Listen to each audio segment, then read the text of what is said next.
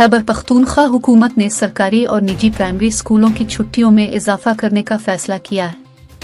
इलामिया के मुताबिक प्राइमरी स्कूलों को मजीद एक हफ़्ता बंद रखा जाएगा। हाई और हायर सेकेंडरी स्कूल कल से खुल जाएँगे, जबकि मिडिल, हाई और हायर सेकेंडरी स्कूलों के औकातकार को एक घंटा बढ़ाया जाएगा।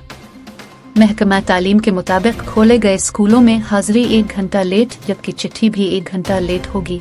सर्दी की शिद्दत में इजाफे को देखते हुए फैसला किया गया। है प्राइवेट स्कूल्स ने अहकाम मानने से इनकार कर दिया। प्राइवेट स्कूल्स ने सूबाई हुकूमत के प्राइमरी तक स्कूल्स बंद करने के अहकाम मानने से इनकार कर दिया है। प्राइवेट स्कूल इंतजामिया का कहना है कि सिर्फ़ प्ले ग्रुप क्लास के बच्चों को छुट्टियाँ दी हैं, बाकी बच्चे स्कूल आएँगे। सर्दी की शदीद लहर के बाईस हुकूमत ने सरकारी और प्राइवेट स्कूल के पाँचवीं क्लास तक के बच्चों की छुट्टियों में एक हफ़्ता की तोसी की है। शदीद सर्दी में छोटे बच्चों को स्कूल बुलाना जुल्म है।